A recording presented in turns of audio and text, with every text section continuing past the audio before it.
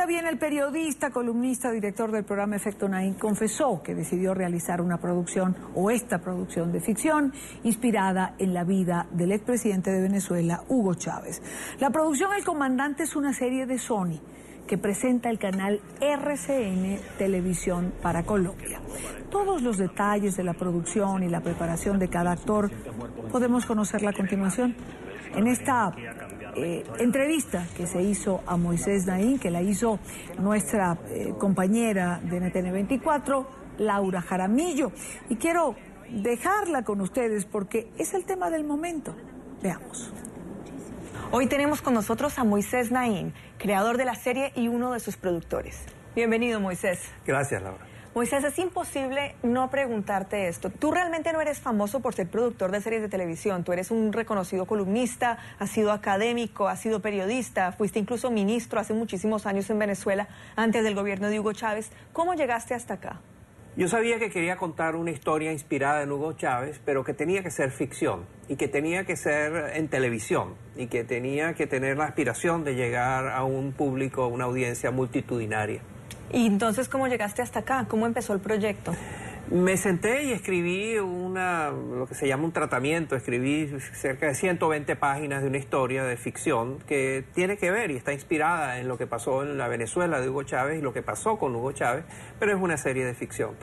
Eh, y tuve la suerte que muy rápidamente Sony, es una productora muy importante en el mundo, eh, decidió producirla y también tuve la suerte que RCN decidió transmitirla aquí en Colombia. ¿Y cuál es exactamente tu papel en la historia? ¿Cuál es tu rol dentro de la producción?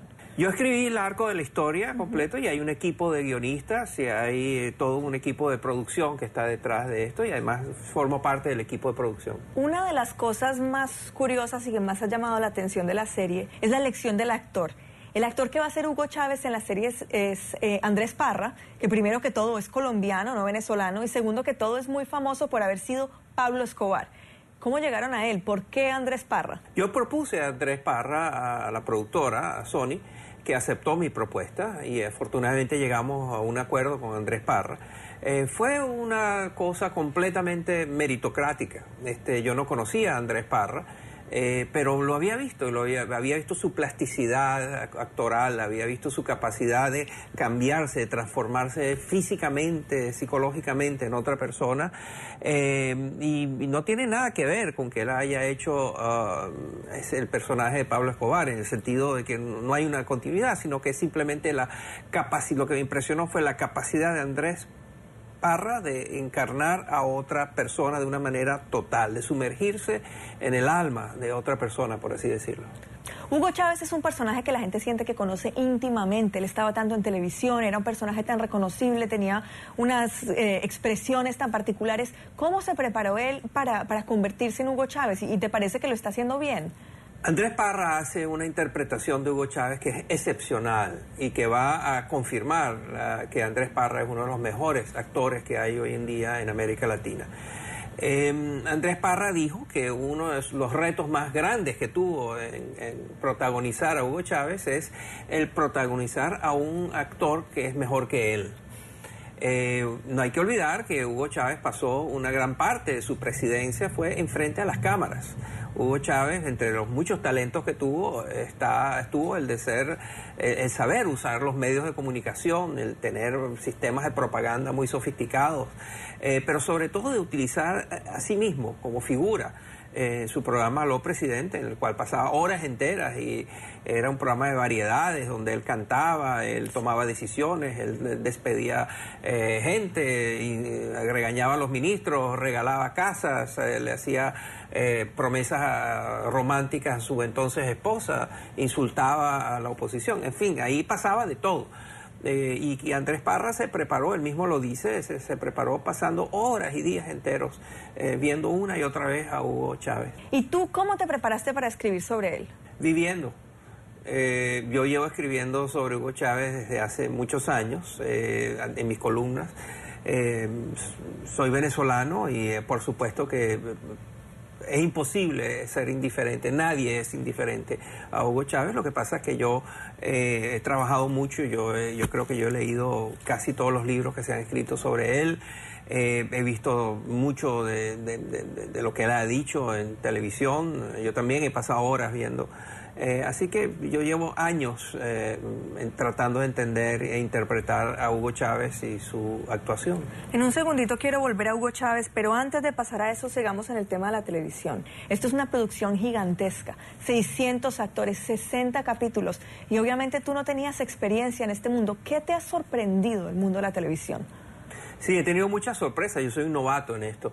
Eh, me, ha sorprendido mucho la escala de todo esto, la complejidad. Esta es una serie muy ambiciosa. Sony ha dicho que es la serie más ambiciosa que ha hecho en su historia en América Latina, en términos de presupuesto, complejidad eh, y, valores de producción y he quedado muy asombrado de, la escala y de la complejidad de la producción. He quedado también muy asombrado eh, de cuánto es esto uh, un trabajo en equipo. La televisión es un trabajo en equipo. Yo estaba acostumbrado a sentarme a escribir una columna eh, periodística o un libro, y eso soy yo solo escribiendo. Esto no, esto implica, tiene, tiene todo tipo de, protagonistas. Eh, están los guionistas, está el director, están los productores, están después los quienes editan, están, en fin, hay, hay, una, hay un equipo realmente muy grande y el, producto final, lo que vemos en la pantalla al final, es el resultado de los esfuerzos y la creatividad y el talento de un sinnúmero de personas. Y en esta historia, ¿qué tanto es ficción y qué tanto es basado en la historia verdadera, en la vida real? Es una serie de ficción, lo hemos dicho una y otra vez. Esto no pretende ser una biografía, no pretende ser un documental, no pretende ser televisión educativa. Esto es una historia de ficción eh, que va, creo yo, a, capturar la atención eh, de, la audiencia. ¿Y hay un personaje que es Moisés Naim? No, no. Muy bien. Eh, Hugo Chávez obviamente es un personaje de odios y de amores intensos. Y de hecho cuando se anunció la serie hubo todo tipo de controversia. Los opositores decían que lo estaban convirtiendo en un héroe, a una persona que había tenido consecuencias nefastas para Venezuela. Y, y los miembros del gobierno y los chavistas han dicho que esto es un ataque a su legado y que realmente está buscando destruir su imagen.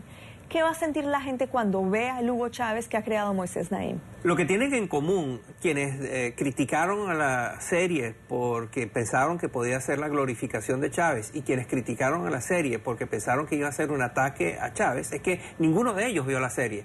O sea, estaban opinando sin haber visto nada lo que muestra las pasiones que eh, suscita este personaje, sobre lo cual hay dos realidades que nadie puede cuestionar independientemente de su ideología y de su simpatía. La primera es que Hugo Chávez fue un personaje y un político extraordinariamente carismático, cuya fama trascendió América Latina.